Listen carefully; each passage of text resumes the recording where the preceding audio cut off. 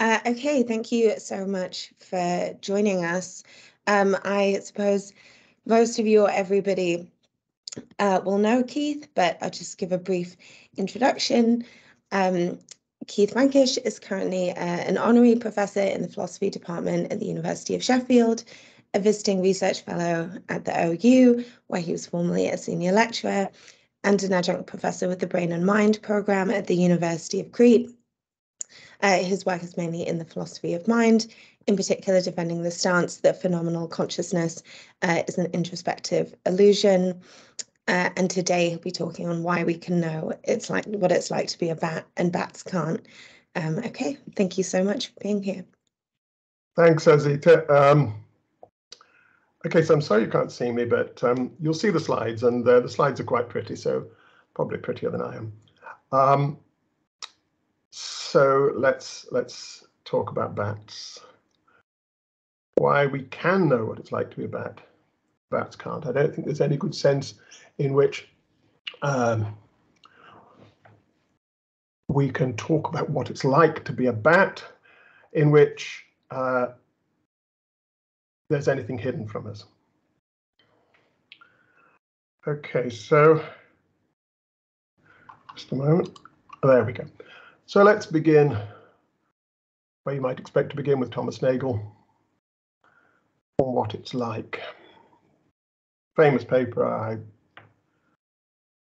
guess most of you have read it, perhaps all of you have. What is it like to be a bat? 1974. Uh, Nagel's interested in consciousness, what it is to have conscious mental states, and he says this, that an organism has conscious mental states if and only if there is something that it is like to be that organism. He stresses be there, something that it is like to be. We'll come back to this business of being like something to be. If it is something that it is like to be that organism, something it is like for the organism, there's a lot packed in there. And uh, every subjective phenomenon uh, is essentially connected with a single point of view. So to understand what it's like to be a bat, to understand it, it, the subjective nature of its experience, we have to understand the bat's point of view. But if I try to imagine this, if I try to imagine what it's like to be a bat. If I try to imagine occupying the bat's point of view, I am restricted to the resources of my own mind. Those resources are inadequate. It came about what he can imagine. He can only imagine himself being in the sort of position that a bat would be, that a bat is in, flying around in the dark and so on. He's imagining himself uh, acting in a bat-like way. He's not actually imagining being a bat. That's what he wants to imagine. But then he has to imagine having quite different sensory apparatus from his own. He has to imagine having quite a different mind from his own, quite a different life from his own. He can't do that.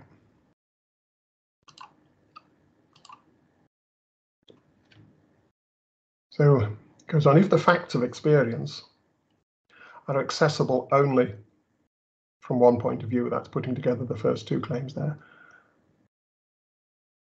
the facts of experience accessible only from one point of view, then it's a mystery how the true character of experiences could be revealed in the physical operation of the organism, because of course the description of the physical operation of an organism does not, he thinks, uh, cannot, he thinks, characterize that point of view. The only way to get into a bat's point of view would be imaginatively, and he doesn't have the resources to do that uh, and his scientific description is going to miss out the, um,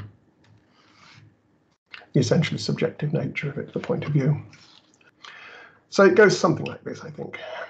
For a creature to be conscious is for there to be something it's like to be a creature. For it to be something that it's like to be a creature is to have a subjective point of view. A subjective point of view is only knowable from that point of view or from a, suitably similar one. or imaginative projection or something like that. But a physical description abandons the subjective point of view. So it's a mystery how physicalism could be true. Maybe physicalism is true, but maybe that the bat's experience, bat, the bat's consciousness is just a physical phenomenon, but it's a mystery how it could be. Because we can't see how we could capture what it's like to be a bat in any physical description, which is presumably what we'd be able to do if physicalism were true. Okay, you can pick all sorts of holes in that, but I think the general line of argument is clear enough. Now, the best response to Nagel was written by Brian Farrell nearly a quarter of a century before Nagel published his paper. In his paper, published in 1950, called Experience, published in Mind. If you haven't read it, then I urge you, only if at all interested in this subject, then I urge you to go and read it. Um, I think they, uh, in fact, in this paper, Farrell asked this question. I wonder what it would be like to be or hear like a bat. He actually um, introduces that topic. I think uh, I think Nagel has I think Nagel has acknowledged that he did read Farrell's paper, though uh, he wasn't he didn't recall it at the time of writing um, the paper. Um, but unlike Nagel, Farrell says that we thinks that we can know what it's like to be a bat. He gives that as an example of something we can know.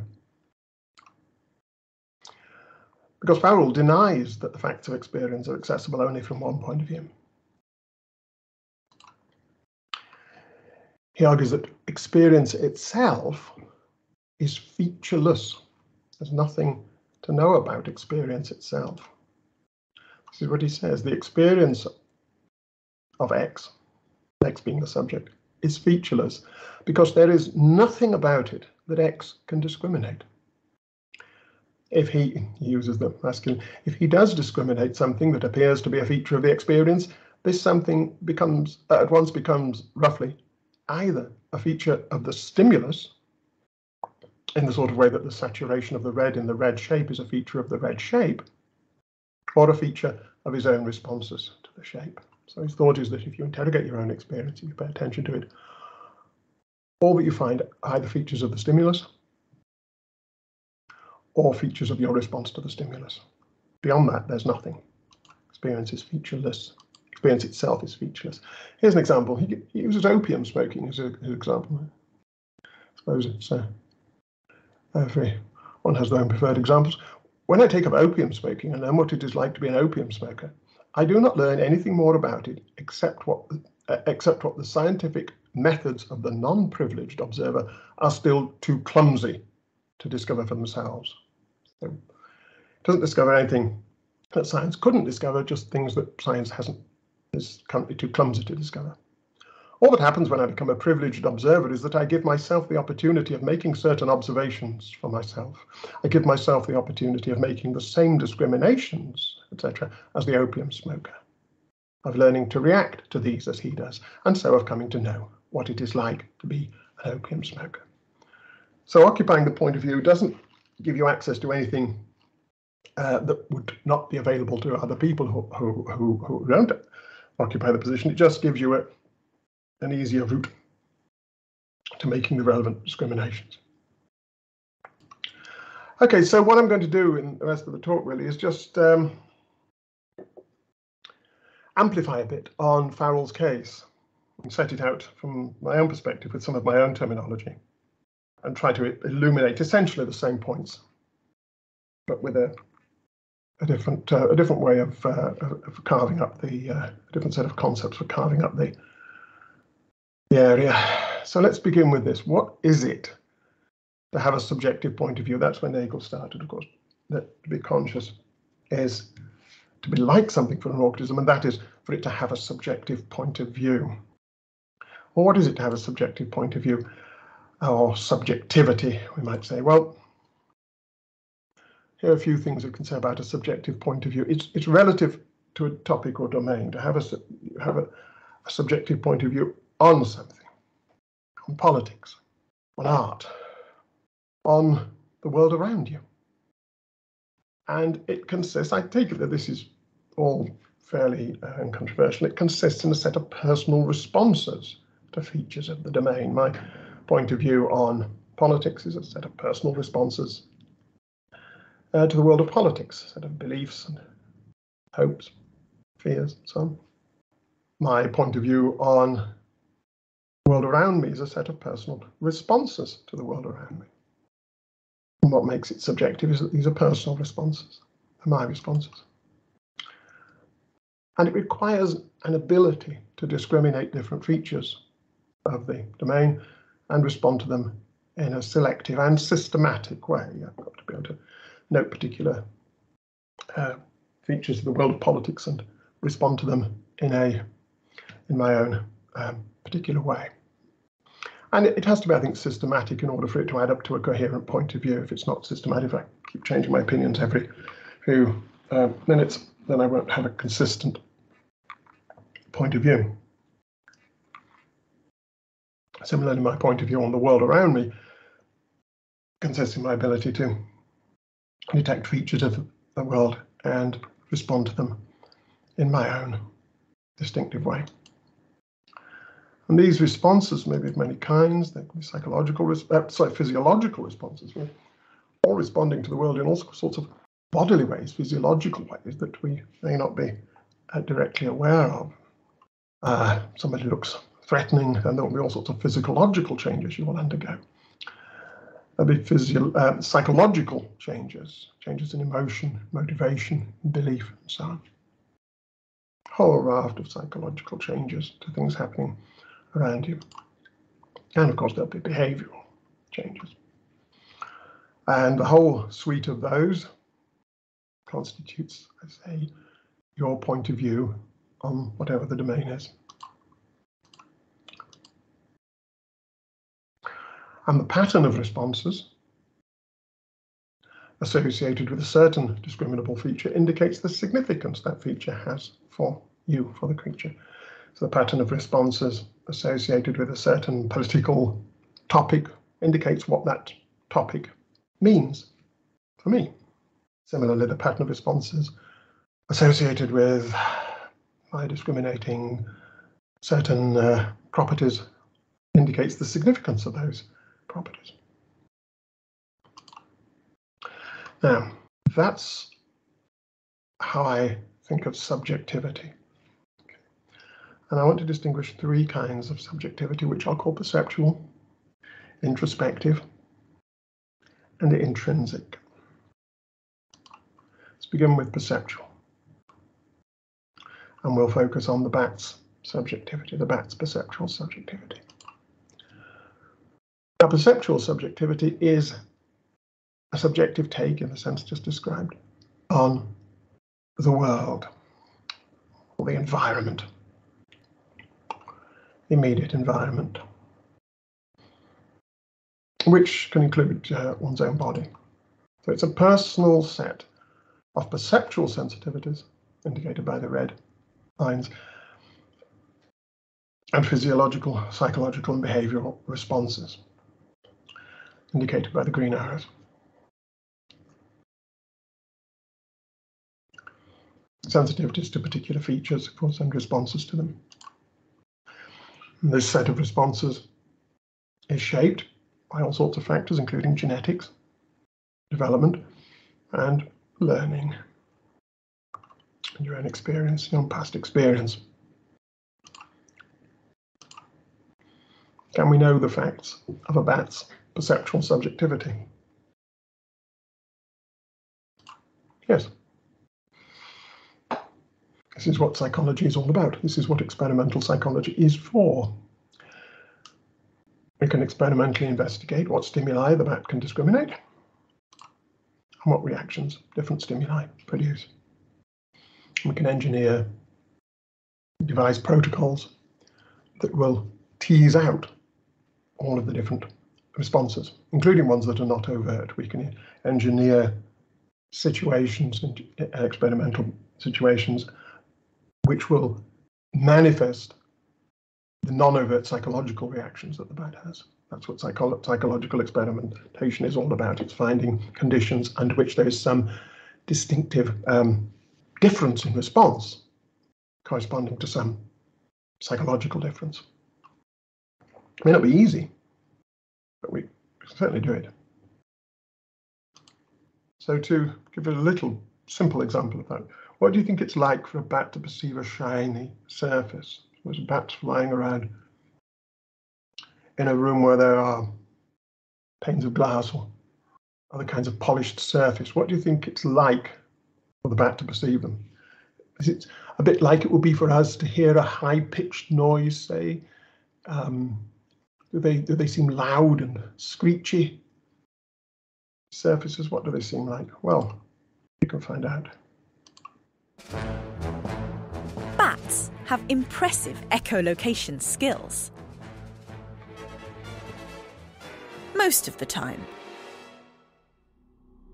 Unfortunately, they have a bit of a problem with smooth surfaces. Bats navigate in the dark by listening for the echoes of their own high frequency calls. Objects with rough surfaces reflect sound waves in many different directions. But smooth surfaces can act as an acoustic mirror, reflecting most of the sound away from the incoming bat. Only when the bat is directly over this metal sheet can it detect a few reflected sound waves. The bats in this experiment often only realised the metal plate was there at the very last minute. None of these bats were injured. But in the wild, smooth glass on the outside of buildings can be an invisible menace for echolocating bats.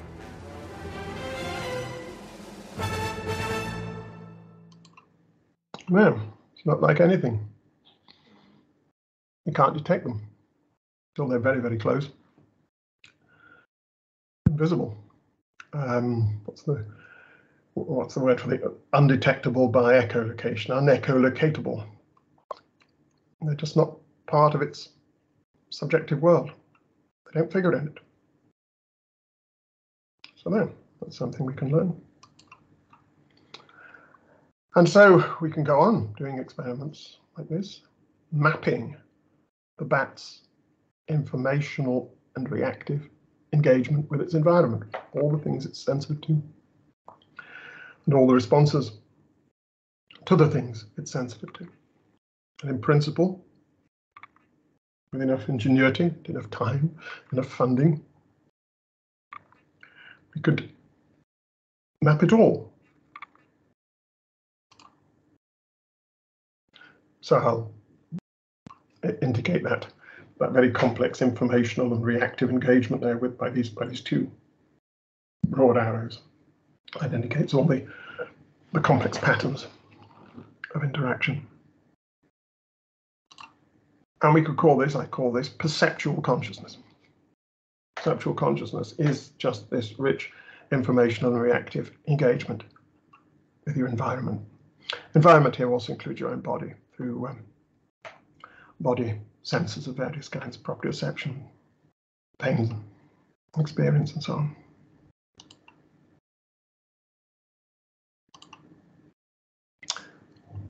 Uh, with enough experimental work, we can know all about these sensitivities and reactions. So it is not necessary to occupy a particular perceptual point of view in order to know all the facts about it. That's my claim. I mean, if you'd like to give me some example of a, a sensitivity and pattern of reactions that we couldn't experimentally investigate in this way, I'd be interested, but I can't think of what it might be. Okay, so it's not necessary. Is it sufficient? Uh, does the bat know the facts of its own perceptual subjectivity? Well, does the bat know about its own sensitivities and reactions? Well, not, I think, simply in virtue of possessing them. Has all these sensitivities, has all these reactions. Does it know that it has them? That's a different matter. And uh, I don't see how simply possessing them would be enough for it to know about them. For it to know about them, it would need another kind of subjectivity, what I'll call introspective subjectivity.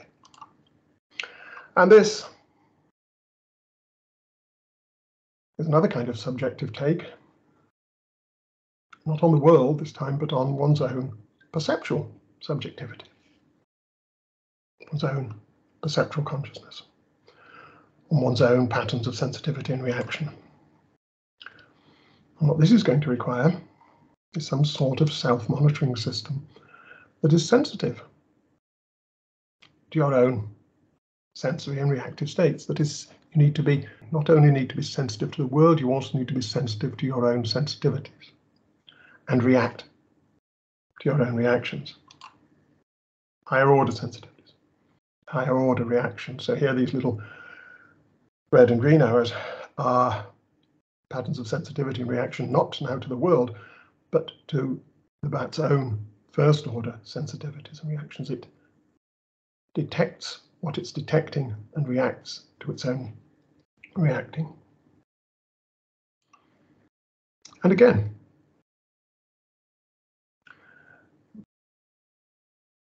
there'll be a rich informational and reactive engagement with its own first order consciousness, just like it can have rich information and reactive engagement with its own, with its environment.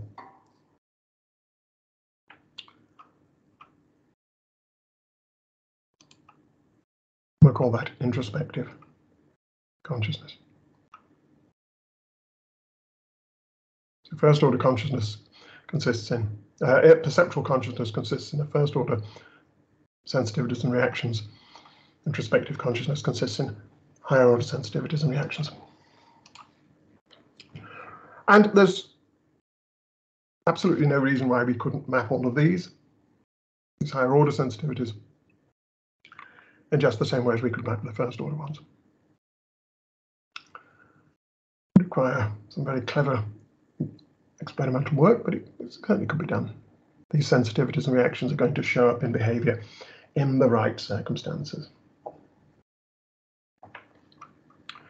Now, do bats have introspective consciousness? That's what they need to have in order to be aware of their own perceptual consciousness.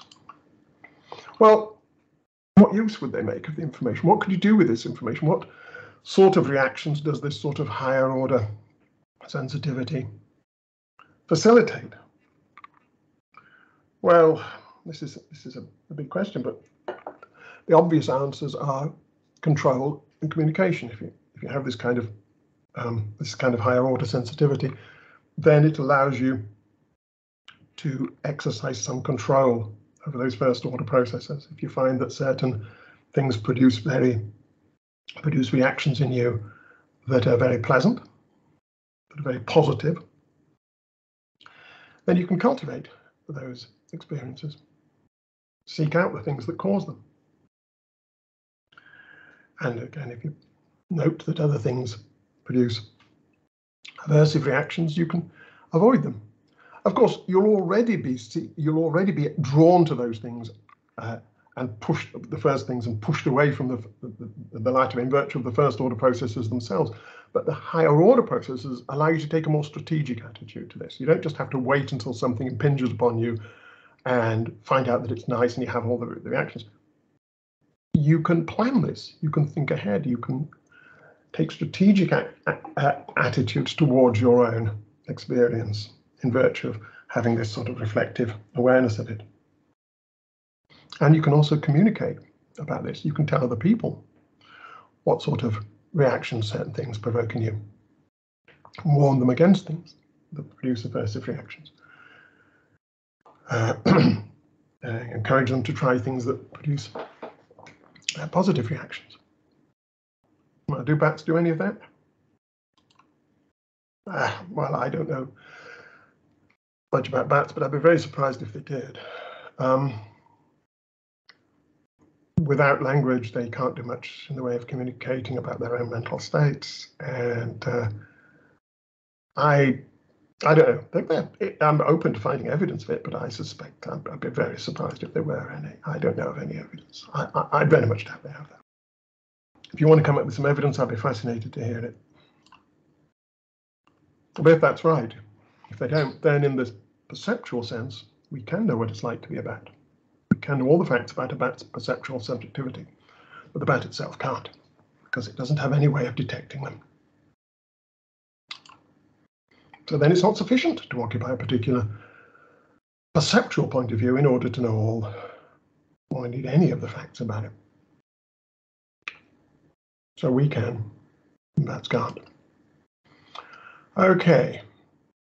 So let's suppose you buy all of that. Then it looks like Nagel's completely wrong. Uh, how did it ever seem to him otherwise?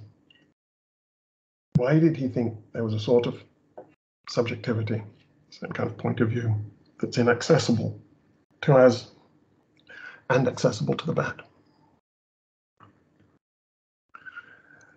I think it's because he was thinking of subjectivity in another way as what I call intrinsic subjectivity. And this is, well, hmm, hard to put it. It's something like a subjective take on, on being itself. What is it like to be about? Not, not a, what it is likeness that consists in sensitivity to features either of the world or of your own mind. But I mean, it's, it's hard to to articulate it, but what it is like simply to be that creature, to for that creature simply to exist. What it's like to be a bat, not what it is like for a bat to be aware of something.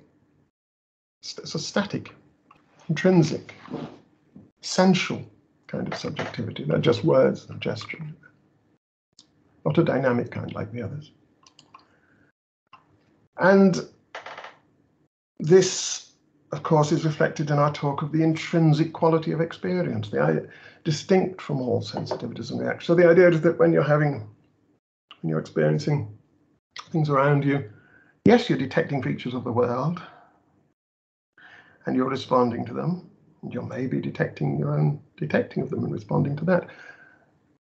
And that's all something that can be captured in terms of processes that are occurring in your brain, say. But there's supposed to be an intrinsic quality to all of this that's distinct from all of that. The word intrinsic keeps coming back. It's, it's a slippery and I'm not don't think it's a very helpful word, but what the experience is like in itself, independent, distinct from what it tells you about, what it's telling you about the world, what about your reactions to the world.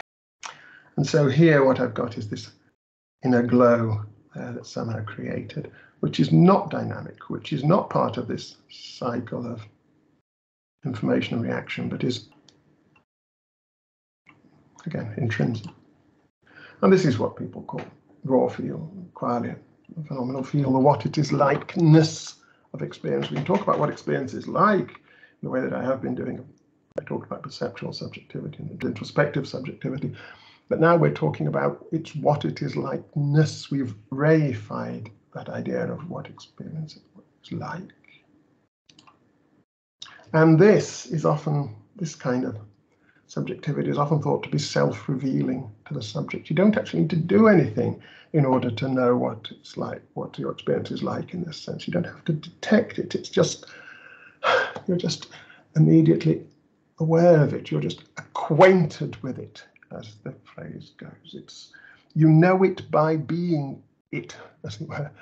Um, and this, of course, is how people find it coherent, meaningful to talk of, uh, to adopt a panpsychist view where inanimate objects have something that it's like to be them. Atoms, electrons have something that it's like to be them. They don't, of course, have perceptual subjectivity, they don't detect features, they don't have any psychology, they don't detect things and respond to things but they still exist. And so they could still have this intrinsic subjectivity. some sort of self-revealing essence. And so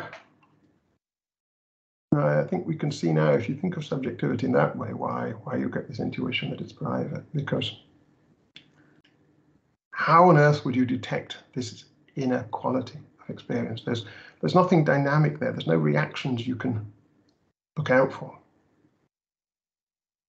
Nothing you can you can measure, record. There's no way you can create an experimental setup to detect this inner nature of the thing. Um, but yet they're supposed to be revealed directly, immediately to the subject. So here we do seem to have something that the bat would know, we wouldn't. Intrinsic consciousness. Uh, we say we could not discover the intrinsic subjectivity of a bat. There's absolutely no experimental method that could determine it. We might, and this is what some scientists do who believe in this kind of um, consciousness, we might assume that it is correlated with certain reactions and look out for those reactions. And then perhaps correlate those reactions with things that are happening in the brain and say that these things that are happening in the brain are the neural correlates of the intrinsic feel. But you have to start with an assumption of a link between a certain link between reactions and intrinsic feel. No way you can test that. It has to be done on a priori grounds. In the end, it's a matter of intuition. And for the life of me, I can't see how a bat could discover it either. Yes, it's supposed to be self-revealing to the bat, but there's no introspective mechanism that could detect it any more than there's an experimental method that would allow us to detect it. Uh, detect it. And I just don't see how it's self-revealed. Self-revealed to what? Um, to parts of the bat's brain? um, to the whole of the bat's brain. I mean, I don't understand what it could be revealed to. And without an introspective mechanism, this is the point here is not simply that bats don't have introspective mechanisms, but even if they had them, they couldn't detect this intrinsic character any more than our experimental methods could. We're still just on a par with the with the bat. Moreover, I would say that there is nothing here to discover anyway. What features of its experience could a bat discover distinct from features of objects that it's paying attention to and its reactions to them? Even if it had introspective mechanisms, what other features could it detect? Pay careful attention to your experience and tell me what it is about your experience that you're aware of that is not a feature of something in the world or a feature of your reactions to the things in the world. This is exactly what Farrell means by, talk, by saying that experience itself is featureless. So I say that a bat can't know what it's like to be it intrinsically. Maybe, however, we could do something. Maybe we could imagine what it would be like for a bat to have intrinsic subjectivity. How could we do that?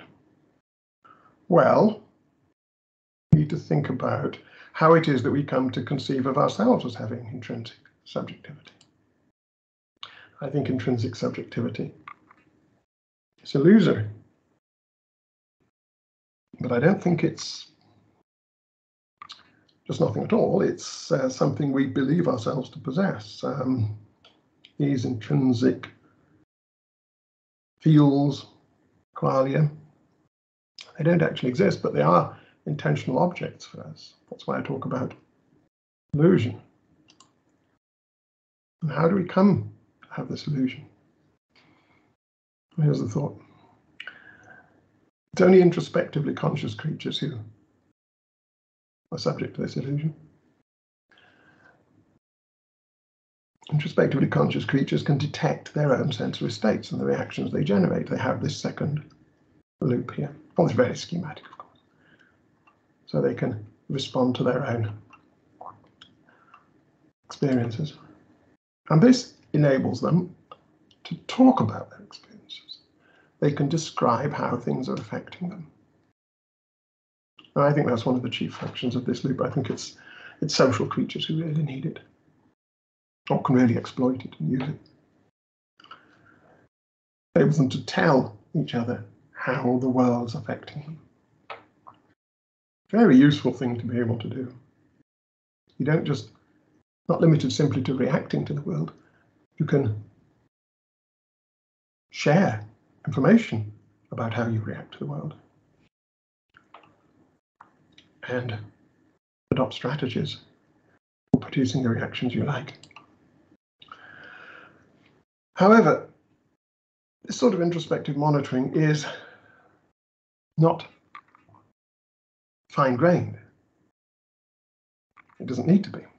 We don't need to have access to all the gory detail of what's happening in our sensory cortices um, and all the huge waves of psychological reactions that are occurring. We don't, we don't need all that. We just need a sense of its global nature, sensory modality, is it vision, is it hearing, whatever. The relation of one experience to another, is this brighter or darker than another? Is it where is it on the on the spectrum? What's its saturation, its hue, and this sort of thing? Uh, its valence, is it something that's evoking a positive response or a negative response? Th those sorts of things. We need some sort of general idea of, of what it's like. We don't need to know all the all the messy details. And we express this by saying that our experiences have distinctive feels, which is, it's like saying, well, it's an experience of that sort of kind, you know, and you gesture at a few features about it that you can. Um, perhaps talking, referring to what provokes it. It's salty. It's the sort of taste you get from salt. It's that sort of thing. It's a gesture, a sort of caricatured, simplified uh, model of the thing. That kind of experience, the one that does that sort of thing to you. Uh, that's all we can say. And what such talk is actually tracking it's a very complex pattern of sensitivities and reactions, which are perfectly objective, if you like, perfectly available um, to third person investigation. But we don't tease apart all the different strands of this pattern. We just see the overall shape of it and we just say it's it's it's a that sort of feel. And we take such talk to refer to simple intrinsic qualities feels. Those qualities themselves are illusory.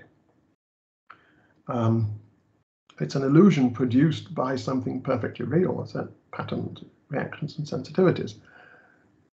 But the caricature of it that we use in communication, talk about feels, so that's illusory.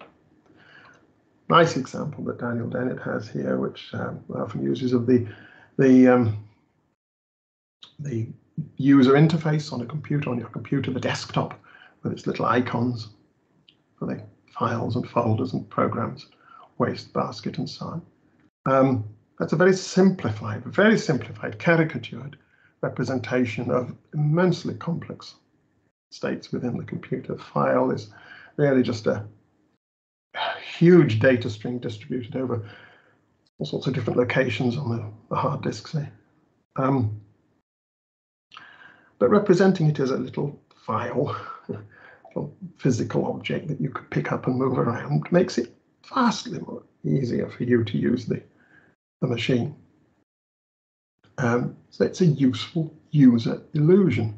Nothing wrong with it at all. It's very, it's very useful. The mistake would be to think that there actually is something in there that that looks like a file, that has the sort of characteristics that a file has, or a waste bin has, or a folder has, and start looking for these things and wondering how the computer produces them, looking inside the computer at all the, the microelectronics and thinking, yes, but how on earth does all of that produce a file or a folder. I think that's the sort of mistake we're making when we try to look for these feels, these qualia. Now, back to the bat, the bats. We imagine the bat to have intrinsic subjectivity. Now, we can't know what it's like to be a bat in that intrinsic sense. There's, there's nothing to know. It does have all these sensitivities, it does have all these reactions, but intrinsic feels that we ascribe, we want to ascribe to the bat, they don't actually exist. The bat doesn't even think they exist because it doesn't have introspective subjectivity that would produce the illusion of their existence. So, uh, and of course neither can the bat know. But we could imagine what it is like to be a bat in the intrinsic sense. And here's how we could do it. We could study bat perceptual subjectivity. We could study all these processes, these first order processes of sensitivity and reaction. I talked about earlier. Map them in all as much detail as we possibly could. Then we could use concepts derived from our own introspective subjectivity to imagine the intrinsic subjectivity a bat would believe itself to possess if it had introspective abilities. I don't see there's any reason why we couldn't do that. We could, we could thoroughly get into the bat's perceptual point of view, but thoroughly acquainted with how the bat, how the bat is sensitive to the world, and how the world affects the bat. And then imagine if the bat had introspective abilities, how it might start to conceptualize its own experience in the way that we conceptualize our own experience in terms of feels. Now we probably couldn't we couldn't do this um, great deal of precision, and after all, it's it's imaginary. It's it's uh, we're, what we're imagining here is what a bat would imagine itself to have. We're imagining the illusion that a bat would be under if it had introspective abilities, and of course, the, the, there's no fact of this matter because it doesn't have introspective abilities. We're assuming. Uh, so we're trying to imagine imagine the, the, illusion that introspection would create in a bat if it had it. And we, but we, we could have a go at that. Um, and I think that's essentially the project that Nagel thinks we should uh, to. He talks about a, objective phenomenology. That's the the the process he thinks we should be engaged on. And um, and we could do it though. It's it's merely investigating a, a hypothetical scenario. But still, there's nothing there that's hidden from us. Insofar as it makes sense to talk about what kind of illusion the bat would be under, we can we can imagine what that illusion would be like. Okay, so I'll round off now. Two questions. If a bat doesn't know what it's like to be itself, does that mean that it doesn't matter what it's like? So I've talked about perceptual subjectivity as what it's like for the bat to experience the world, but I'm saying the bat doesn't know what it's like for it to experience the world, just experiencing it. So it does it mean it doesn't matter? Well, emphatically, no, that doesn't follow. It doesn't follow that it doesn't matter what it's like to be a bat. All the potency of consciousness, the impact, the oomph, if you like, is lies in perceptual consciousness. Things impinge upon the bat. They say they hurt it. They produce aversive reactions. That's where all the the potency of consciousness is in that first order engagement with the world. And that's what I think we should be sensitive to and uh, respond to when we consider how we treat bats is what sort of reactions are we evoking in the bat? Positive ones or negative ones? Doesn't matter whether the bat's tracking them, we can track them. And if they're nasty ones, you shouldn't do it. That's what I think. Perceptual consciousness, this is what I've just said, is a dynamic interaction with the world. It's the world impacting on a creature and the creature respond resounding to the impact. I sometimes talk about it a creature as being like a bell, and the world is striking on, on the, uh, the bell and it's resounding Now, introspective consciousness provides a creature with further capacities with respect to that interaction. It can detect the nature of the interaction. But it doesn't make the impact itself more potent. It doesn't change the nature of the impact. First order pain is still as potent and horrible, whether it's detected or not. Not horrible in an in, uh, intrinsic sense, of course, but horrible in the sense that it's packed with all kinds of aversive responses. That's what it is. But introspective consciousness doesn't do something extra. It doesn't make a light come on, doesn't make an intrinsic feel come on, which is the source of ethical value. It doesn't do that. We don't. That's not where the the, the, the value of the ethical concern lies. Not in some uh, hidden intrinsic feel. It lies in the nature of the first order interaction with the world. Another question. Can we know what it's like to be a bat, or an alien, or a cow, or a dog, or a human of different ethnicity or gender? These are all hot questions. Emphatically, yes, we can. If we try hard enough. Nothing's hidden from us, it's all there. We just need to look. And once we've looked, we need to decide if we care.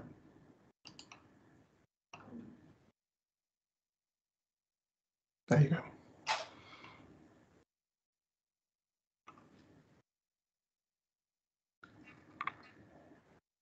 Great, thank you. If we could all uh, unmute, give a round of applause. Ah, thank you. Thank you, thank you, thank you, thank you, thank you.